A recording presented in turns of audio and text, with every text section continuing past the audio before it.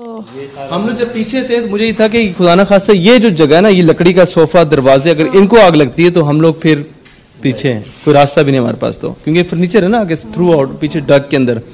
और ये अल्लाह पीछे से कोई कोई रा- कोई एग्जिट नहीं था। ये कुरान पाक पढ़े हुए हैं बस अल्लाह ताला ने इनकी बरकतों की वजह से ये जगह ये आग आगे नहीं आई। और ये कुरान पाक सेफ़ है? सब सेफ़ है। ये ये जगह सारी सेफ़ है। इससे आगे कोई चीज़ नहीं है ये कुरान पाक पढ़े हुए हैं। वरना आप खुद देखें मौजे हैं हमें लगता है मौजा। देखें किस तरह ये पूरा यहाँ तक ये जला हुआ है।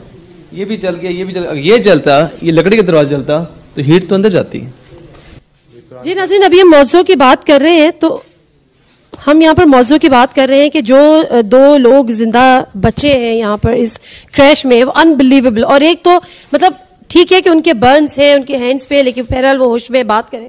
और उसी तरह की ये मैं कहूँगी कि ये मुआवजा ही है। ये आप देखिए कि ये कुरान पाक यहाँ पे रखा हुआ है, कुरानी सूरतें, ये तर्जुमे के साथ। और ये आग यहाँ तक आई है, इसने पर्दे को जलाया है, ये आप पूरा पर्दा देख सकते हैं कि पर्दा जलाया लेकिन उससे आगे नहीं आई है। बात मानने की है, अकीदे की है, हम ये मानते हैं कि जहाँ अल्लाह ताला का नाम लिया जाता है, कुरान पाक रखा होता है, वो महफूज रहता है। और ये आपकी आँखों के सामने है। मैं ज़रा ये पूरा